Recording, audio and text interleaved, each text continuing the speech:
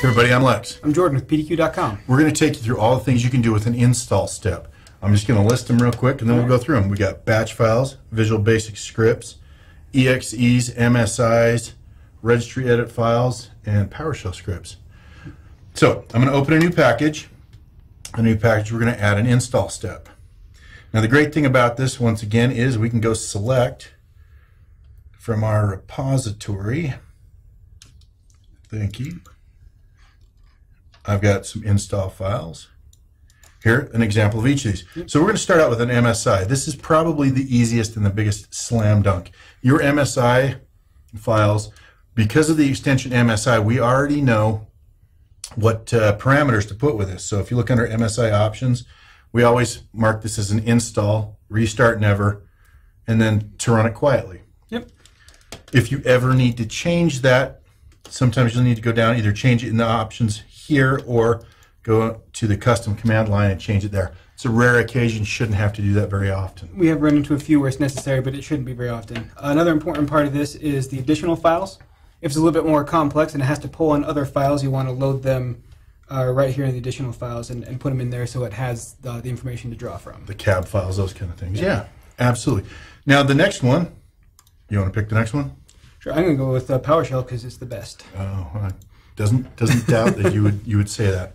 All right, so PowerShell is exactly what it sounds like. It's the uh, best language in, in Microsoft. Uh, you can use it if you do any sort of install from there. It just runs from here.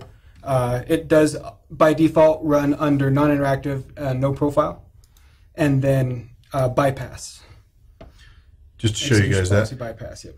Now, if you needed to add parameters to that, again, the best place to add those parameters, let's say it was taking some arguments at the end of your script, add those on the parameter line. It will append it to the end of your command line.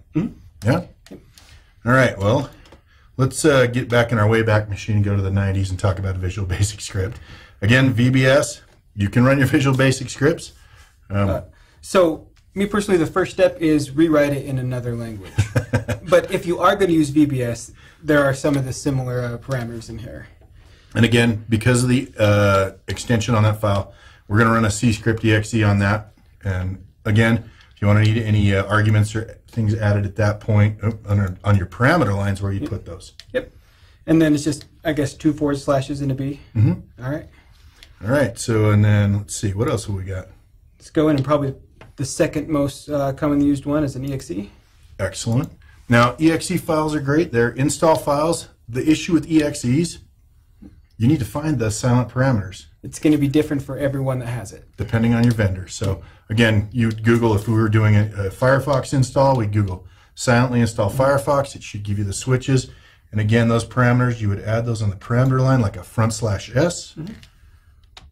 And again, you can see Does here, Add it to the command line on the bottom. it does append it to the end. So, and then let's also take a look at the last two, which is the batch file. Again, a batch file. We're just running command exe. It's your batch file there. If we put a lot of the, the defaults in there, forward slash S is, oh no, forward slash S is because we didn't delete it when we're done.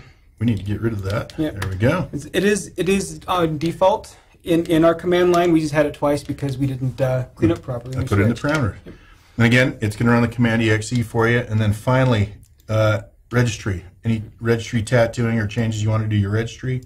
Because it's a reg file, again, we're going to run a reg edit exe front uh, slash s. And, and this one is if, you're doing a single machine, this is great. But if you're looking for all computers, are probably best using your group policy. what he said. anyway, those are the things you can run from an install step in PDQ deploy. Thanks for watching. I'm Alex. Jordan.